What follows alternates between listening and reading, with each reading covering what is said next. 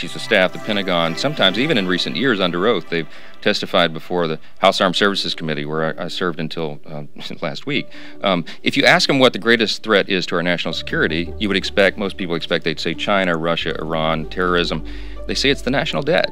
We have to address it. We, we have obligations and we have commitments, and we want to protect our, our and help and assist our friend uh, Israel, but we have to keep our own house in order as well. And I think people at home, I think the American people understand that. At home, you have to balance your budget. At home, you have to make tough decisions.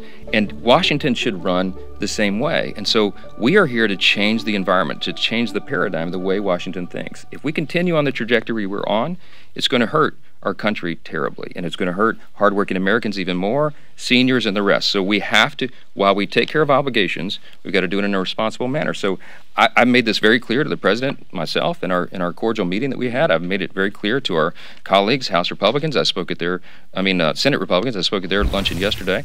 Um, I've, to every cabinet official I've spoken to, all the way down the line, that we're going to do this in a responsible manner, and that's that's a very important principle for us.